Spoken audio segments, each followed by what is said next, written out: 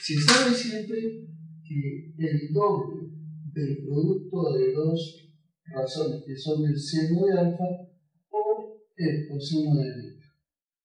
El doble del producto del signo por el coseno. Profe, ¿a qué es igual eso, David? Bueno, déjame decirte que esto es igual a la suma de dos senos. El seno de quién, profe? Ahí, de la suma de los dos alfas, o sea, alfa más beta.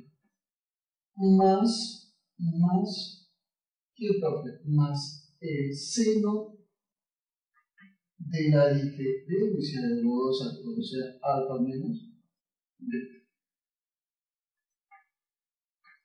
Así de fácil y sencillo como lo puedes observar ahí. ¿Está bien? ¿Estás de acuerdo con? ¿Qué dices tú? Claro que sí. Sería entonces dos veces el seno por el coseno, simplemente el seno de la suma de los dos más el seno de la diferencia de los dos a. Entonces, esto de acá, lo que tú estás observando, es lo que vamos a emplear a continuación. Bien, profe. Entonces, de acuerdo a ello, el problema me dice que K es igual a quién, profe? A Es igual a 1 menos 4 veces. Pero mira, yo le voy a poner 2 por 2, porque 4 es lo mismo decir 2 por 2. ¿Qué dices tú? Bueno, el seno de 70 grados por el coseno de 80 grados. Claro que sí. Sobre 4 veces el seno de 10 grados. Muy bien. Cuatro veces el seno de 10 grados. Y ahora lo que tenemos que hacer acá es lo siguiente. Mira caballero, mira significa. Dos veces el seno por el coseno. Estamos ante esta transformación trigonométrica que se va a resolver así. Así de facilísima como todas.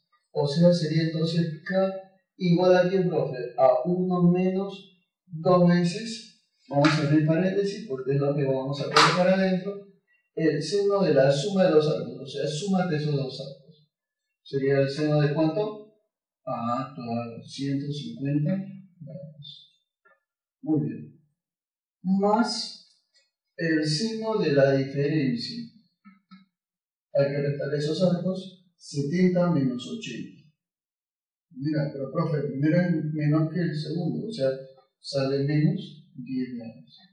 Claro, hay que tener cuidado ahí cuando sale negativo o positivo. Tienes que tener bastante cuidado, ¿verdad? Por favor. Y tienes que colocarlo tal y como es. Cuatro veces el seno de 10 grados va abajo. Ya está. Profe, ahora, eh, K va a ser igual a 1 menos 2 por... Profe, ¿cuánto es el seno de 150 grados? Bueno, déjame decirte que el signo de 150 grados, eh, como está en el segundo cuadrante, es lo mismo decir el seno de 30 grados. ¿Por qué, profe? Porque 30 y 150 son suplementarios. O sea, es lo mismo decir el seno del suplemento. Ah, sí. Y el seno de 30 grados, todos sabemos que vale un medio. Claro que sí. Mira, pero este signo menos en el arco quiere decir que va a salir o sea, sería menos el seno de 10 grados.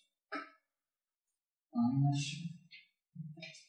bueno, y todo eso, y todo eso, vamos a ponerlo así, y todo esto dividido entre quién, profe? Entre 4 veces el seno de 10 grados. Bueno, profe, este de acá, este patito multiplicaría cada uno de ellos. Entonces tendría yo K igual a 1 menos por más menos.